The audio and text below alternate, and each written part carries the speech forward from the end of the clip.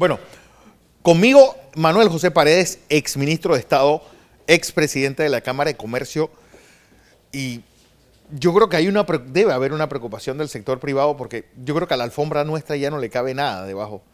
Porque esto, esto se resolverá. No hay duda que el problema magisterial se resolverá.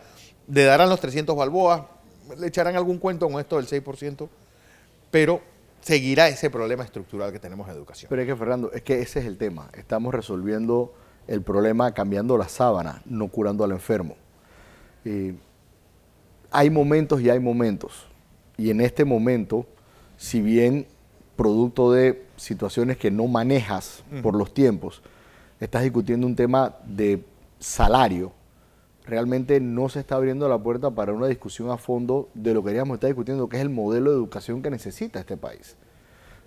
Ahora mismo, eh, vamos a suponer que el gobierno acuerde darles el 6% del Producto Interno Bruto destinado a la educación, pero destinado cómo? Vamos a dedicárselo a infraestructura, vamos a dedicárselo a gastos administrativos, vamos a dedicárselo a salario y mientras tanto no discutimos qué queremos hacer con la materia prima que ingresa al sistema, los alumnos, y qué queremos que salga de esa materia prima, el resultado de la educación. Eh, yo veo, y, este no es un problema de esta administración, este es un problema que muchas administraciones hemos dejado a un lado y que no hemos afrontado. Eh, es un problema del que se ha hablado mucho, pero se ha hecho poco desafortunadamente, porque al final de cuentas se discute en medio de una situación como esta, cuando estamos en una, en una parálisis de labor, se discute enfocado con otros temas, que son los temas que realmente llaman la atención, como yo quiero más plata. Pero, y por supuesto, siempre, y esto lo dijo una vez eh, alguien cuando a nosotros nos tocó en el gobierno de Martín afrontar una huelga, decía, entiéndalo, uno de estos gurús de mucha experiencia decía, entiéndalo, uno nunca le gana una huelga a los maestros, porque la primera semana todos los padres de familia están contigo, la segunda semana los padres de familia, bueno, lleguen a un acuerdo, a la tercera semana dicen, por favor, resuelve y sácame al chiquillo de la casa porque ya no lo aguanto. Ya no lo aguanto. Entonces, eh, el aliado del huelguista en este momento es el tiempo, el enemigo de la sociedad es el tiempo. Porque ahora al final, lo que vamos a acordar es que vamos a reponer los días con sábados, vamos a reponer los días perdidos con horas más y no se reponen. Y sin embargo, con mucha preocupación, tú ves que la brecha entre los que tienen acceso a una buena educación pagada y los que tienen acceso a una educación pública se va estirando. Yo, es que pasa exactamente igual con la medicina. Sí. Son, son analogías muy, parecidas. Pero a lo que voy es, y lo discutía con el ingeniero Blandón, incluso Saúl Méndez también lo discutíamos, es que nosotros tenemos unos números macroeconómicos importantes. Sí la macroeconomía nuestra está de muy buena salud, pero a nivel de suelo, pareciera que estuviéramos hablando de un país africano pero es que en todas las de la ley. la economía panameña es la economía de dos, de dos realidades. Una es la realidad internacional, claro. el centro logístico, el canal de Panamá, la banca, las finanzas, el sector servicios, el sector turismo, si tú quieres ver algo de otra manera. Y otra manera es el día a día de la venta al comercio al por menor y al por menor del sector agro, del sector industrial enfocado en el mercado panameño. Entonces, cuando tú ves esas dos realidades, tú te das cuenta, digo, Panamá está volando. El mejor año histórico de crecimiento de la zona libre de Colón fue en 1988. El peor año de la economía, el peor año de la economía, del país. Pero sin embargo, si tú ves los números en fríos de 1988, hoy día tú dices, concho, pero con todos los cuentos que yo escucho, la economía no estuvo tan mal. Si yo veo los números macro, pero si tú le preguntas a cada uno, la economía de ese año fue malísima y muchas veces pasa eso. Ahora tú ves, y ahí escuchaba cuando estabas con, con Saúl Méndez aquí, que sí, efectivamente, todo indica que viene un ajuste en la velocidad de crecimiento del sector construcción, por una sobresaturación, por una sobreoferta, por lo que tú quieras, pero sin embargo, la línea 2 del metro te va a garantizar que en la venta de concreto los números se mantengan, más o menos igual por un proyecto.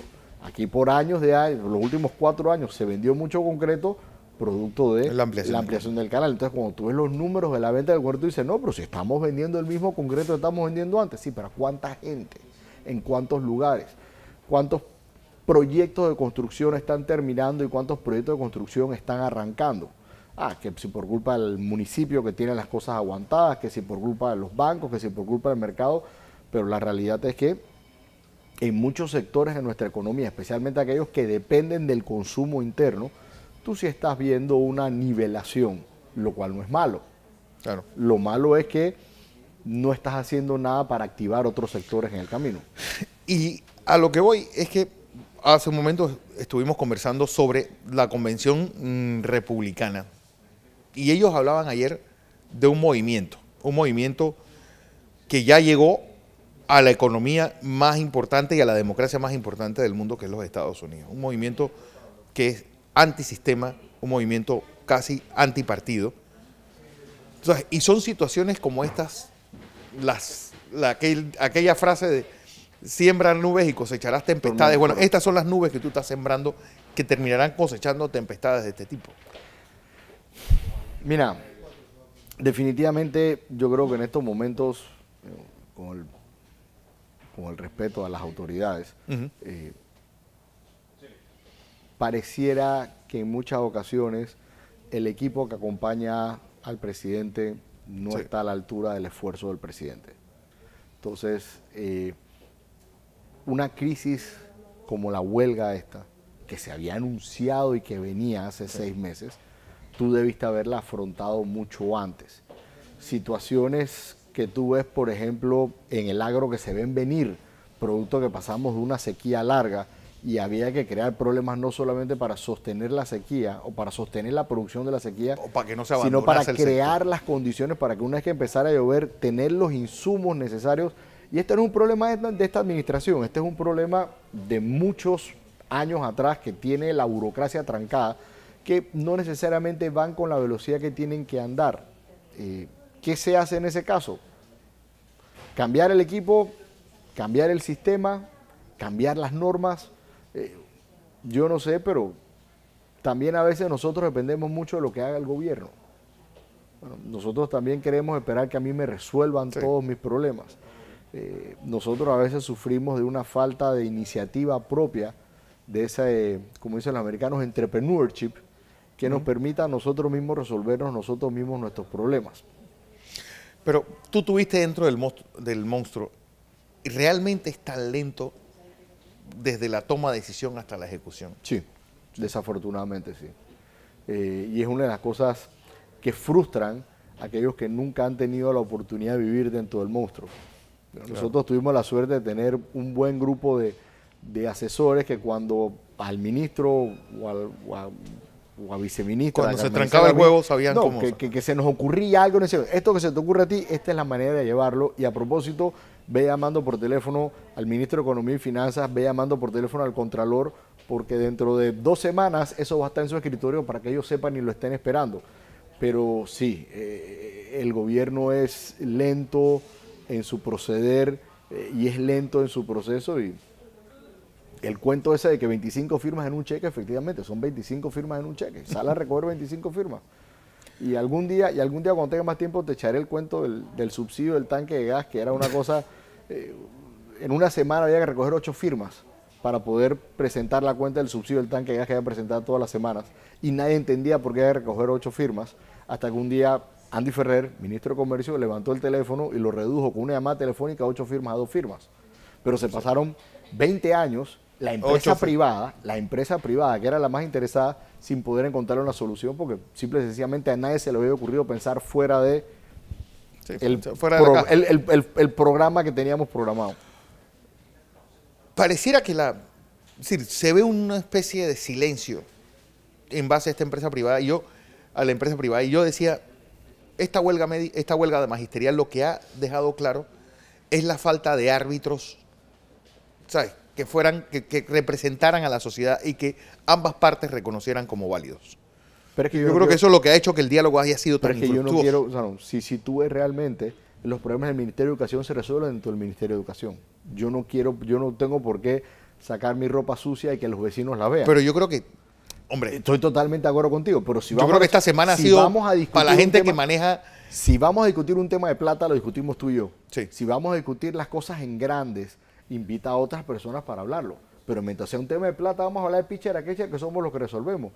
La Cámara de Comercio, Industria y Agricultura, la Asociación Panameña de Ejecutivos de Empresas, el Consejo Nacional de la Empresa Privada, el Consejo Nacional de Trabajadores Organizados, cualquiera de los gremios, eh, los clubes cívicos, cualquier gremio que se siente en ese momento a, tratar de mediar en la discusión, va a querer que se toquen otros temas. Sin embargo, lo que le interesa a los actores que hoy día están sentados en la mesa discutiendo es la plata. Yo quiero que me pagues, yo no te puedo pagar. Yo quiero que me garantices los aumentos, yo no te los puedo garantizar. Yo quiero que me asignes el presupuesto, yo no, yo no me puedo comprometer de esa manera. Entonces, lo que estás hablando es un tema de uno y uno, no es un tema de todos, desafortunadamente. Y si tú yo creo que, meter, y si tratas de meter los temas del todo, no vamos a resolver el tema. No, no hay ese egoísmo, pareciera que se está extendiendo en toda la sociedad de que, bueno, mientras tu pelea sea tuya, no me preguntes a mí, ya cuando me toque pelear a mí, yo pelearé solo Pero es que usualmente es así. Usualmente cuando ya a mí me afecta algo que está haciendo el vecino es cuando yo pego el grito. Mientras, a mí no me afecte lo que hace el vecino, y antes hablábamos del edificio. El que estaba en el piso 12 y piso 11 no se molestaba. La del piso 14, que es la que recibía el agua, fue la que se puso brava y puso a todo el mundo en orden. Entonces, cuando ella pegó el grito, entonces ya los otros empezaron a pegar el grito. Eh, y esa es la realidad. si aquí algún día se hiciera realmente en serio un llamado a discutir el modelo que queremos los panameños y, hiciera, y existieran compromisos realmente para cambiar el modelo. Sí. Pero aquí, y lo ves como el ejemplo del ciclo este aumentado que trataron de hacerlo, fue una idea buena, una idea excelente, pero sin embargo, como yo fui el que la propuse, sin haber generado la discusión para que todos estuviéramos de acuerdo, ya estoy en contra porque tú fuiste el que la pusiste, el que la presentaste. En vez de crear el consenso y presentarla como un acuerdo de todos, no, como yo lo voy a hacer porque creo que es lo correcto y yo creo que es lo correcto, ya yo, como estoy del otro lado, naturalmente voy a estar en contra de lo que tú digas, Barça, Madrid, jamás nos podremos poner de acuerdo en nada. Listo.